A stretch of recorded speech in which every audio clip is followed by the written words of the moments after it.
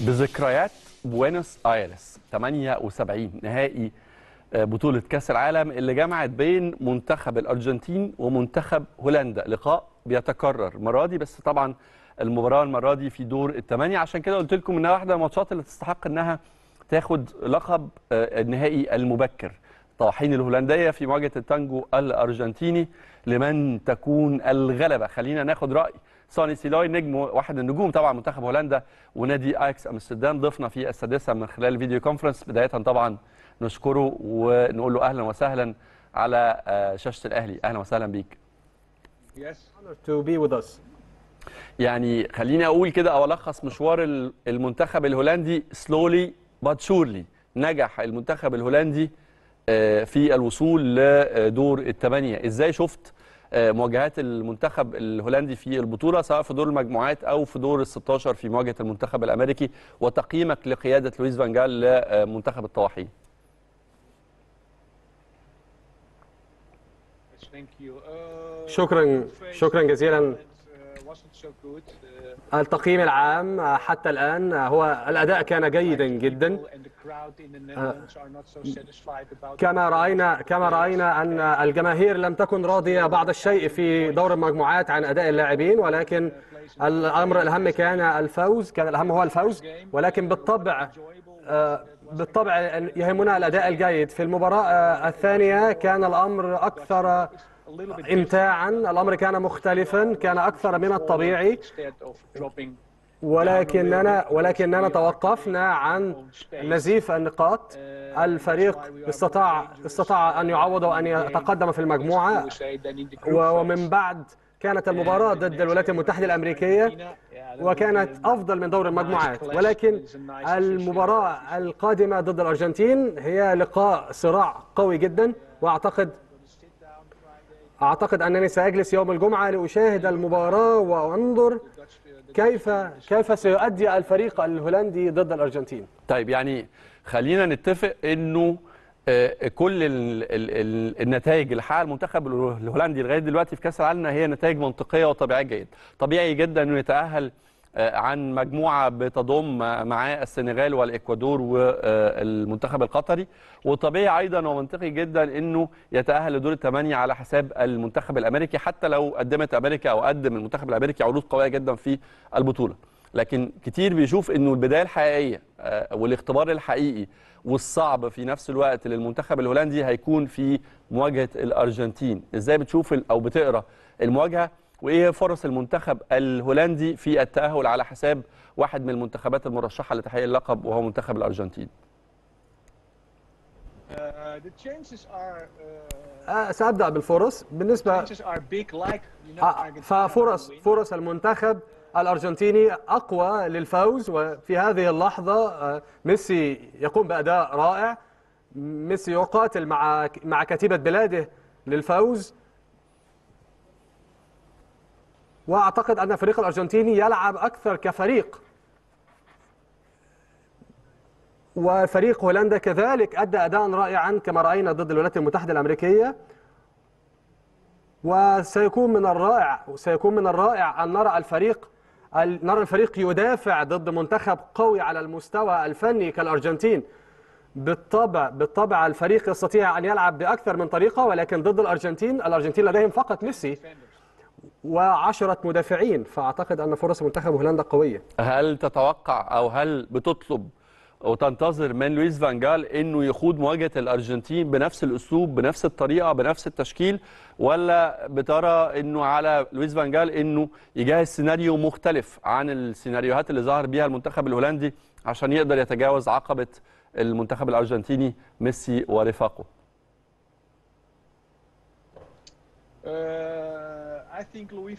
أعتقد ان أعتقد أن لويس فان خال سيبدأ بنفس ال 11 لاعبا الذين بدأ بهم آخر مرة.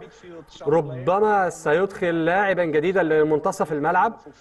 ولكني بحكم عملي معه خمس سنوات في في آياكس كان مدير فني خاص بي. فاعتقد أعتقد انه أنه لا يغير الفريق الفائز. يعتمد دائما يعتمد دائما على من يفوز.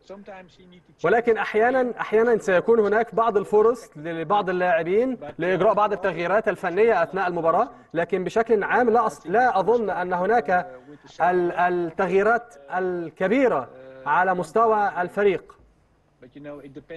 ولكن هذا الأمر يعتمد على هذا الأسبوع على الحصص التدريبية كيف يؤدي اللاعبين كيف يؤدي اللاعبون واعتقد وأعتقد أن هذا يعتمد على ما سنراه في الأسبوع القادم. آه، يعني طبعا رغم وجود أسماء آه، من العيار التقيل زو- في المنتخب الأرجنتيني زي دي ماريا زي آه، لوتارو مارتينيز وغيرهم من النجوم. لكن في في في ناس كتير بتشوف إنه ممكن اختزال القوى الضاربة المنتخب ال- الأرجنتيني في ليو ميسي. هل بتتفق مع وجهة النظر دي؟ وإذا كانت آه، إيقاف خطورة الأرجنتين تختزل أو تختزل في إيقاف ميسي هل في لاعب من وجهة نظرك في المنتخب الهولندي قادر على إيقافه؟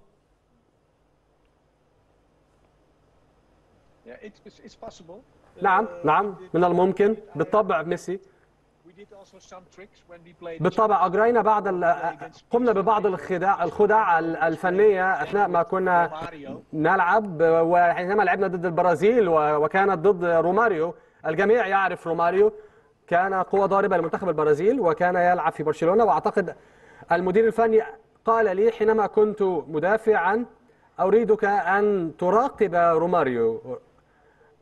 رجلا لرجل فكنت كنت خلف روماريو في كل لعبة. أعتقد أن أعتقد أن هذا سيحدث مع ميسي في مباراة الأرجنتين القادمة. إذا إذا استطعت أن تراقب ميسي لحظة بلحظة فأعتقد أن هذا أن هذا سيوفر الكثير على الفريق ليفوز بالمباراة. فأعتقد أن هذا سيسهل الم- المهمة مهمة اللاعبين الهولنديين ضد الأرجنتين. فبالتالي إذا إذا إذا إذا إذا قتلت ميسي معنويا إذا إذا استطعت أن أعبر فبالتالي ستستطيع أن تفوز بالمباراة ضد الأرجنتين. عموما يعني و- و- واذا كنت مش عايز أعمل مقارنة بين الأجيال لكن الحقيقة دايما الكرة الهولندية حاضرة في كل النسخ على الأقل اللي أنا شفتها ويمكن من قبلها حتى أنا ما شفتش طبعا آه، نهائي الحلم 78 في بوينوس ايرس بين الأرجنتين وبين آه، آه، هولندا. شفت طبعا يعني شفت ملخصات أو شفت ملخص المباراة لكن حتى ما قبل ال- ال- البطولة دي دايما هولندا بتمتلك آه، آه، فرص كبيرة جدا في أي بطولة بتشارك فيها. وكل الأجيال اللي مثلت الكرة الهولندية كان فيها أسماء عظيمة جدا. ورغم كده ما نجحتوش في تحقيق لقب بطولة كأس العالم. هل شايف إنه الأسماء دي حتى وإن تجاوزت عقبة الأرجنتين قادرة وجاهزة إنها تحقق لقب البطولة؟ توقعاتكم أنتوا في هولندا للجيل ده من من اللاعبين؟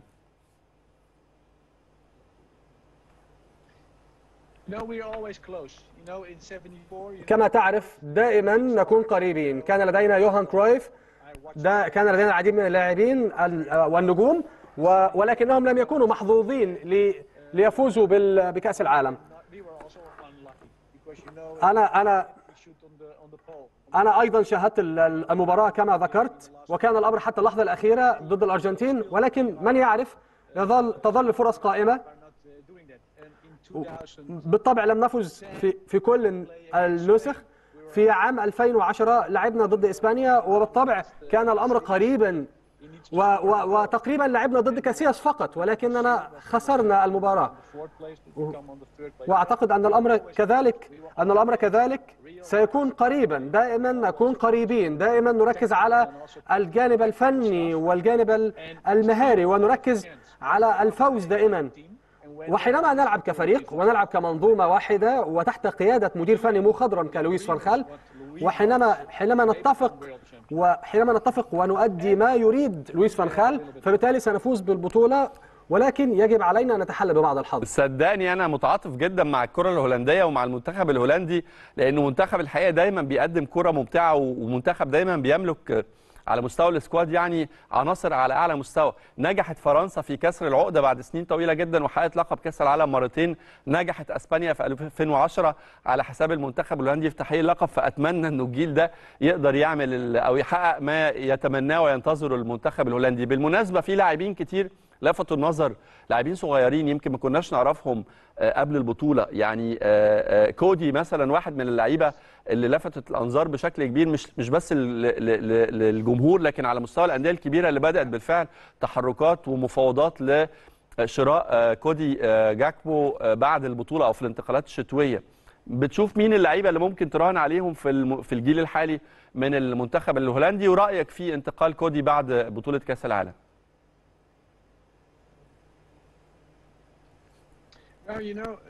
That are يوجد- يوجد- يوجد لاعبان في لاعب في الدفاع. لدينا فان دايك أراهن عليه. هو uh. وعلى مستوى خط الوسط فرينكي ديونغ فأعتقد أني أراهن على هذين اللاعبين. وكذلك لدينا ديمفريس ال- ال- الظهير المدافع. آه، side. آه، ي- لديه لديه عرضيات خطيرة ولديه انطلاقات رائعة. وأيضا وأيضا ممفيس ديباي ممفيس ديباي يتقدم في العمر ويكبر أصيب في برشلونة و a great thing with يؤدي with Depay to put ولكن أدى بشكل رائع مع منتخب هولندا ويجب عليه وان ان أن يلعب بشكل أقوى ليؤدي ويلعب لكامل 90 دقيقة مع منتخب هولندا. هو لاعب رائع وشخص رائع وكما تعرف حينما يؤدي ممفيس ديباي بشكل جيد ونحرز المزيد من الأهداف. تزداد فرص هولندا للفوز وحينما كان يلعب في مانشستر يونايتد كان دائما كان دائما يظهر اداء رائعا. ولكن اللاعب الذي أظهر اداء مذهلا في هذه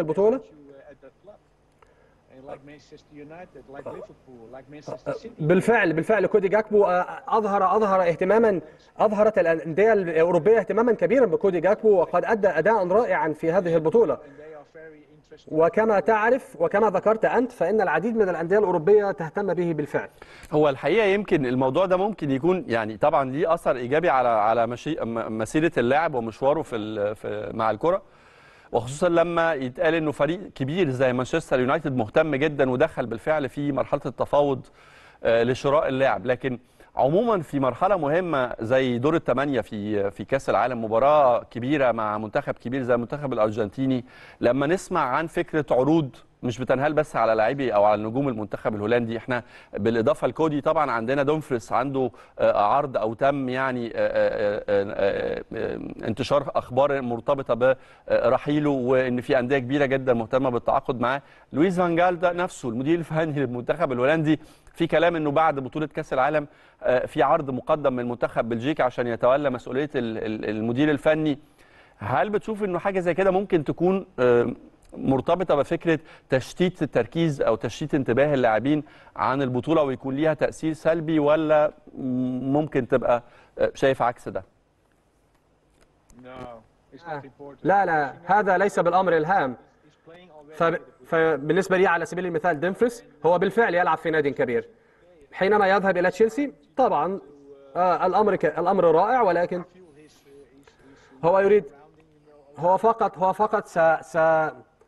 سيكون سيكون محاطا بالعديد من النجوم ليس إلا آه. ولكن ولكن بالنسبة لي ديمفريس لن يغادر بأقل من 100 مليون يورو آه هو لاعب رائع ربما ربما 80 أو 90 مليون أو حتى 100 مليون وبالنسبة للأندية التي تهتم باللاعبين في هذه club. يظهرون ذلك ولكن اللاعبون ولكن اللاعبون مرتاحون نسبيا مع أنديتهم.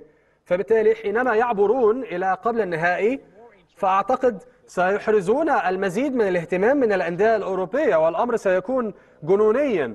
فبالتالي آه، وال- والعروض المادية ستزيد من تشيلسي ومن غيره وتشيلسي سي سيزداد رغبة في اللاعب. فبالتالي لا أحد يعرف الأمر غريب تجارة كرة القدم غريبة. مم. بعيدا عن مشوار المنتخب الهولندي إيه أبرز المفاجآت اللي شفتها في النسخة الحالية من من كأس العالم؟ ومين هو ال- المنتخب أو أو المنتخبات اللي ترشحها للمنافسة ولتحقيق اللقب؟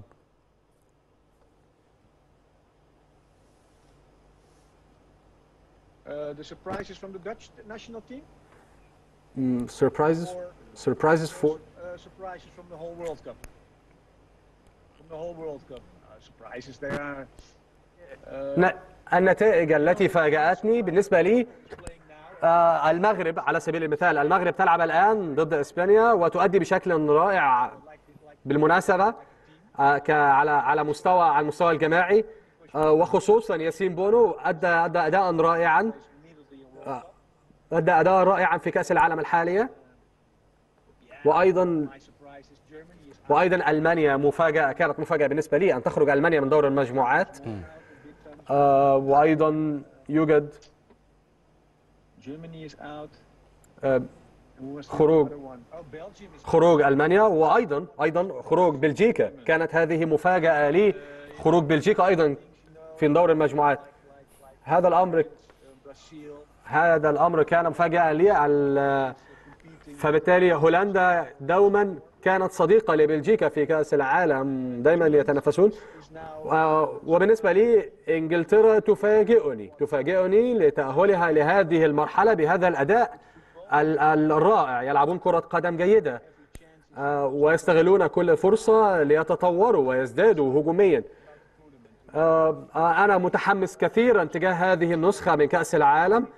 هذه النسخة لم تكن لم تكن مملة كان الأمر فقط قليلا في أول مباراتين ولكن الأمر بعد ذلك أصبح مثيرا للاهتمام على مدار البطولة. أعتقد أعتقد على كل أعتقد أن البطولة البطولة ستنطلق رسميا من يوم الجمعة القادم. رغم سهوله دور المجموعات لكن حتى لو فازت ال- المنتخب فاز المنتخب الهولندي على الأرجنتين هيكون طريقه صعب جدا للتتويج باللقب. يعني هيكون عليه بعدها إنه غالبا يعني في ظني إنه هيتجاوز بعد الأرجنتين عليه إنه يقابل آه، المنتخب البرازيلي اللي نسبه أعلى من أو فرصه أعلى من منتخب كرواتيا. وإذا ما نجح في إنه يتجاوز المنتخب البرازيلي هيكون عليه ان هو يواجه أعتقد برضو إما منتخب فرنسا أو منتخب إنجلترا. نشوف المشوار إزاي.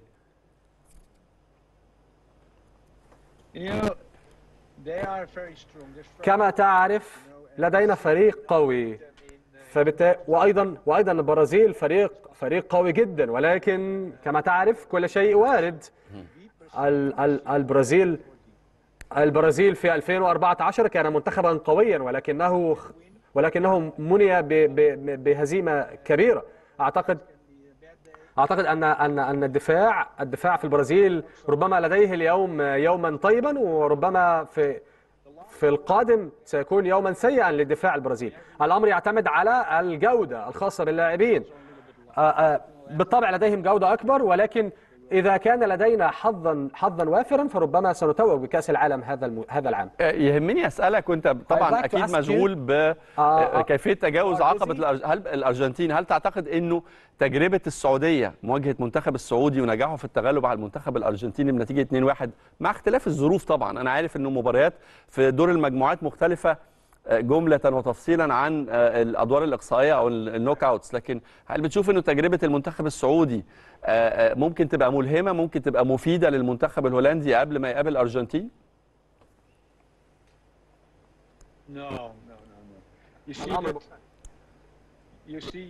كما. In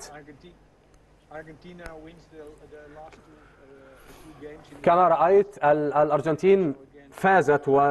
وتغلبت على الوضع وفازت بآخر مباراتين في المجموعات آه، ضد بولندا والمكسيك. Uh, ولكن. و... و... وأيضا آخر آخر مباراة في دور ال 16 لم يؤدوا بشكل جيد ورغم الفوز لم يؤدوا بشكل جيد طوال البطولة رغم الفوز فالأمر مختلف. اعتقد أعتقد أن هذا أمر يختلف ضد منتخب هولندا في يوم الجمعة القادم آه، آه، كتير من عشاق الكرة هيحتاروا الحقيقة ماتش يوم الجمعة ده لأنه إحنا بنتكلم على منتخبين ليهم عشاقهم وليهم جماهيريتهم والاثنين الحقيقة من المنتخبات الممتعة فننتظر أنا أنتظر شخصيا أن أنا أستمتع بمواجهة قوية جدا ما بين المنتخب الهولندي والمنتخب الأرجنتيني وبتمنى لكم طبعا التوفيق. منتخب هولندي طول عمره الحقيقة بيقدم لنا نجوم على أعلى مستوى وبيقدم لنا كرة ممتعة جدا فأتمنى لكم التوفيق في مشواركم في البطولة. آه، سوني سيلوي نجم المنتخب الهولندي السابق ونجم طبعا آياكس أمستردام. بشكرك شكرا جزيلا على مشاركتك معنا في السادسة. شكرا جزيلا.